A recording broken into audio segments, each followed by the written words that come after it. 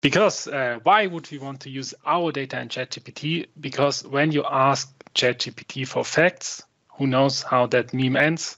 You're gonna have a bad time. Well, this time we actually had a good time because ChatGPT actually know the answer, but uh, sometimes it's it's a big mix. You get mixed results, you get hallucination, and uh, for one uh, for one thing we can't get facts out of ChatGPT when we are using internal data that ChatGPT can't know about because um, it is not on Wikipedia or not on the web, so not in the ChatGPT training data. And a little bit about me. My name is Robin. I work at a German energy company. I'm not an IT guy. I'm a mechanical engineer.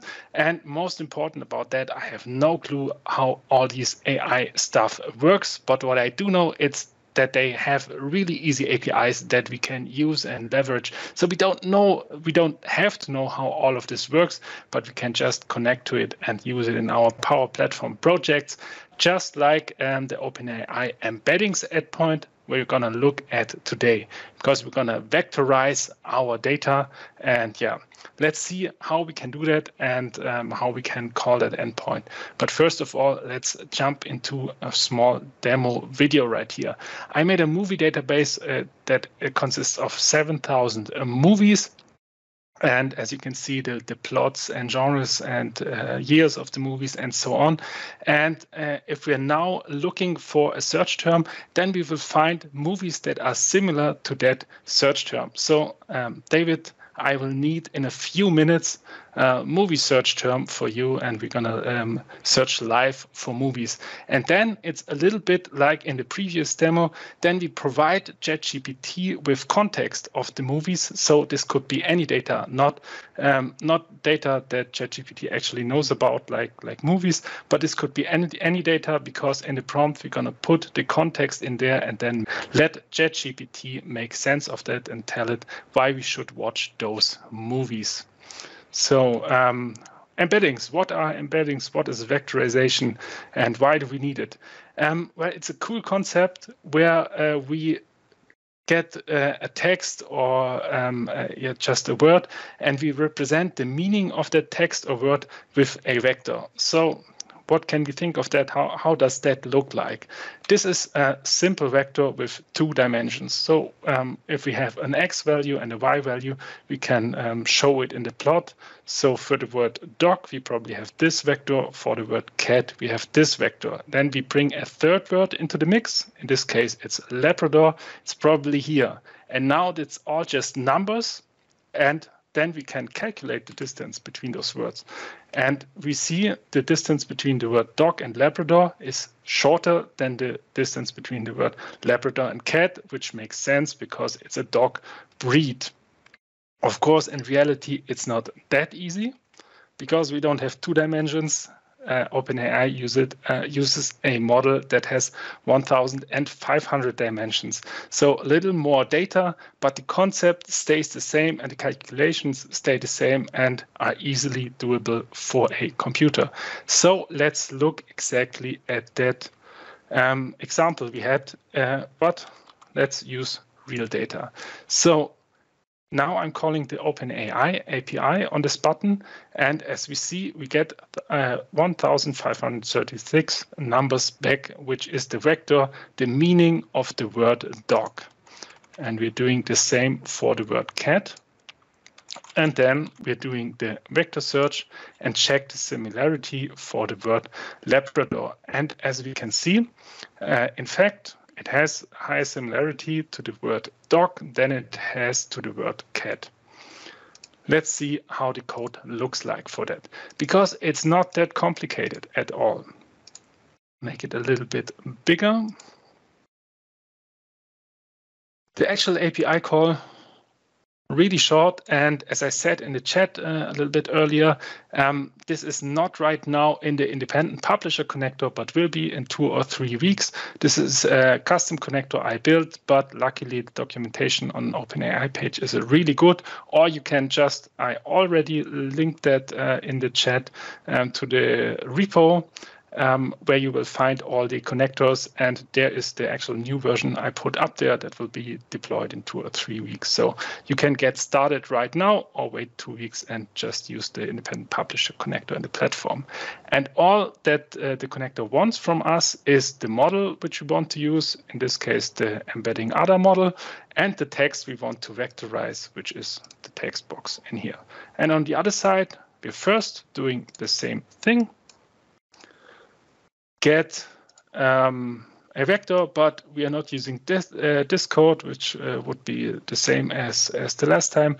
But this time we can use the Azure, Azure OpenAI service. So I saw a question in the chat where it just was like, um, we needed to be in this region. And if we have sensitive data, especially when we are uh, from Europe, we have to be uh, GDPR compliant. So we don't want our information going to a US servers of OpenAI.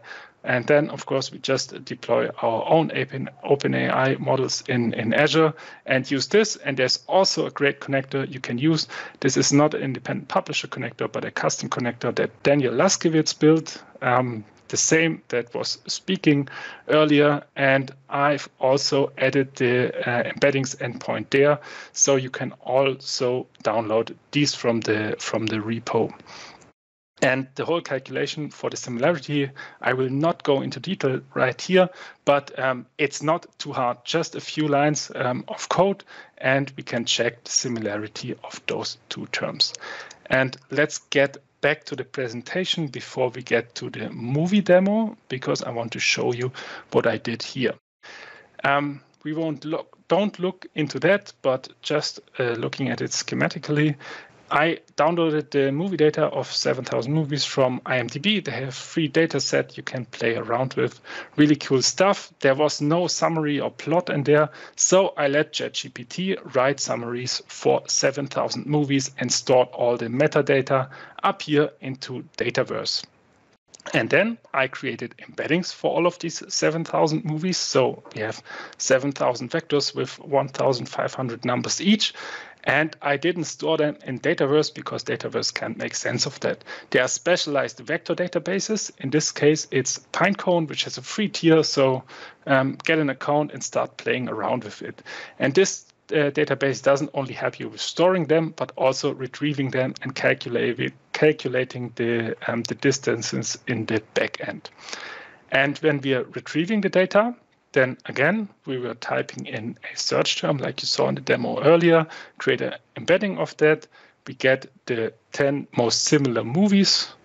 And then we puzzle back the, the data we got because here are only the IDs of the movies stored, then we get our metadata from our um, Dataverse database back. And then, just like in a previous demo, um, we give context to ChatGPT and let it make sense of that so we we give um, the the plots and the summaries and the name and the years of the movie, and then ChatGPT should tell us why this is a great movie. I have to watch when searching for the search term XYZ. Oh, uh, David. Yes, sir. What kind of movie do we want to watch? Well, let's see. Uh, Guardians just came out, and there's a wide spectrum. What do we do? What if we do a search on Marvel? Will that work? Let's try. So um, now we're getting our data from the database back any second. Captain Marvel, of course, uh, yeah, really close because it's in the title actually, but all these others don't have it in the title, and these are, I think, all Marvel movies. So that seems to work. Was there one sneaking in? No, all Marvel movies, I think. Is this different Avengers? Don't know. Um, and now we're waiting for ChatGPT. This takes a little bit longer, so about 20, 25 seconds, and it will tell us why we should watch those movies when we are looking for a Marvel movie. I wonder if ChatGPT can also add like a post-credit take, like after we read it, it gives us like a sneak preview to what it. See what I did there? Yeah, um, and yeah, that, then it's given his uh, his take. Um, Captain Marvel, fantastic movie, uh, and what it's about. And I also snuck in the URLs and let ChatGPT write an HTML text, so we can actually click on that. It's a little bit like the like the Bing with the like the new Bing with the numbers, where we can click on the sources. So let's really quickly look at the code on this button. Also, just a few lines of code in here. Um, first of all, again, we get the embedding.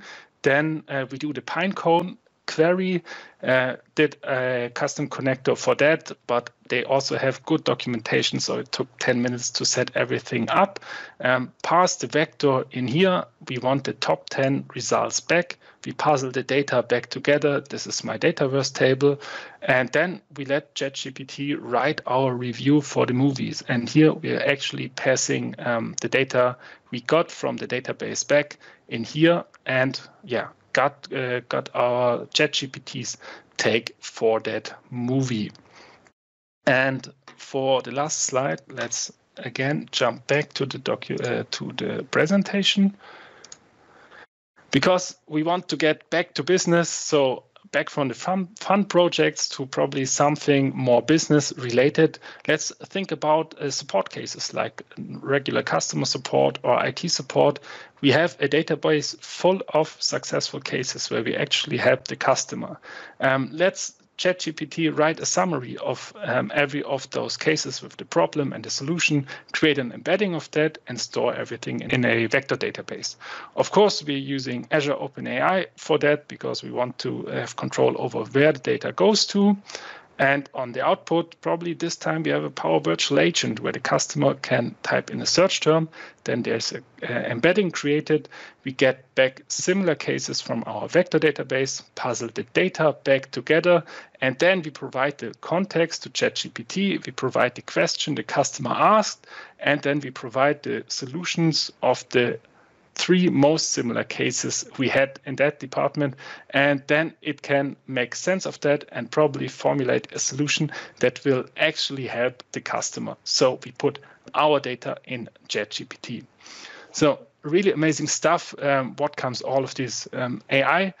And uh, my take is we, it's so easy to connect to those um, APIs let it be open OpenAI, Azure OpenAI, AI, or other AIs that come out. And my suggestion is start some fun pro- projects, get your hands wet uh, in that, and yeah, start building something with it. Thanks, everyone. Back to you, David. Robin, awesome, awesome, awesome stuff. I cannot, uh, I cannot say how awesome this has been uh, by saying it more than three times, right? But really cool stuff. I also appreciate how you showed it can be fun. That helps people learn right? I think that's a secret sauce for everybody who's wanting to get into this technology. Find something that's maybe not business related. Did just because we do have a couple minutes, I did want to ask you.